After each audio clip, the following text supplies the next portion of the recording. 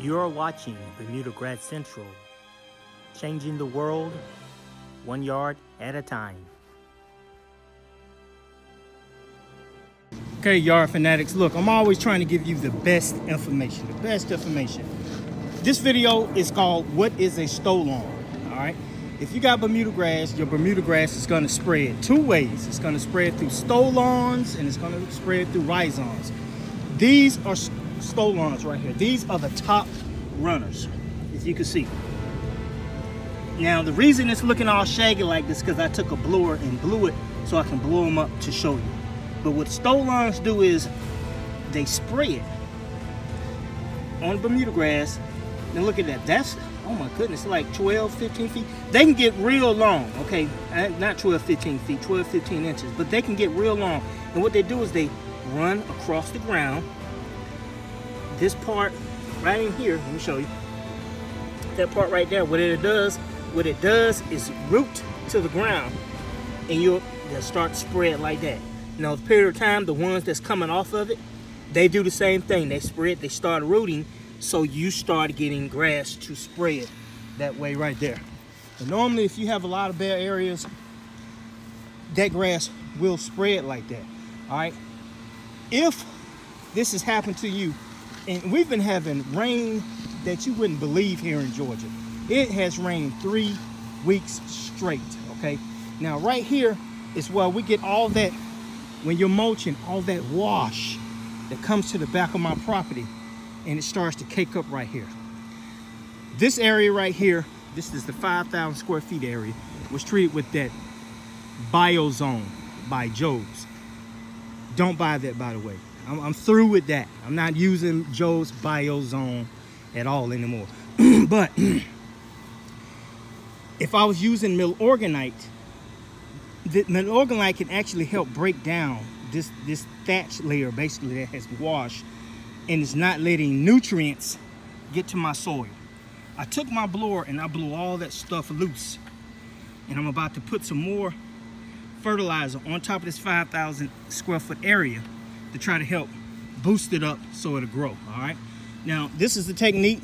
I go over some clients' houses and their grass is not growing and we'll survey the property and we'll see it all kicked up like that.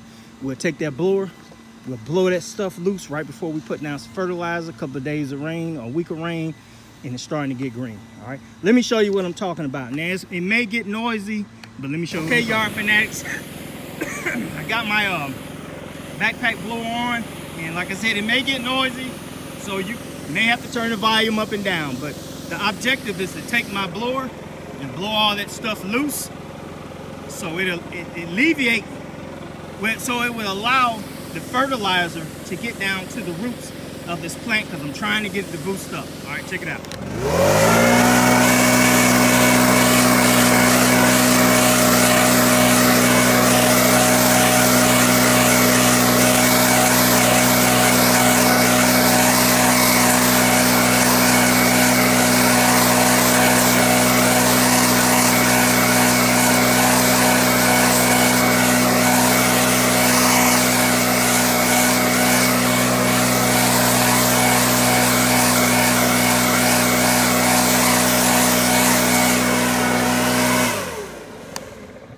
Right there. Now, look, look what you got.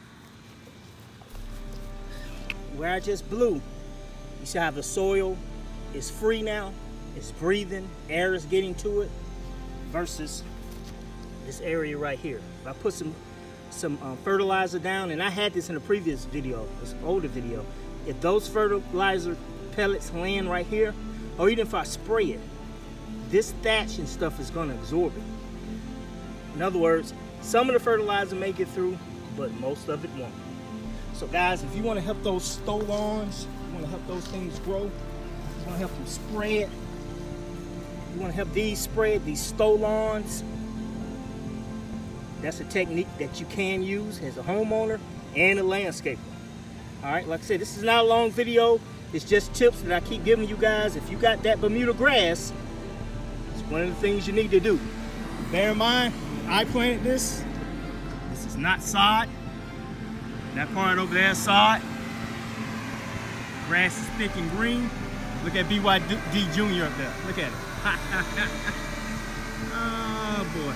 But guys, look, just remember, you're tuned into Bermuda Grass Central with BYD. This is Michael Bowman, and I will talk to you soon. I don't even think he's blowing anything. He's just walking.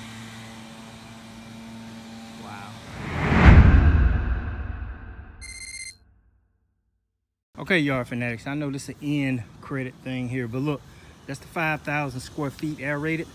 Now, one thing you can do is come back with a more, bag up all this, then put your fertilizer down or whatever nutrient you want to add to it.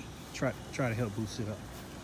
So look at it. It looks like I actually took a real 8ER A tur and did it, but Uh, I air rated this A-I-R raid R-A-I-D.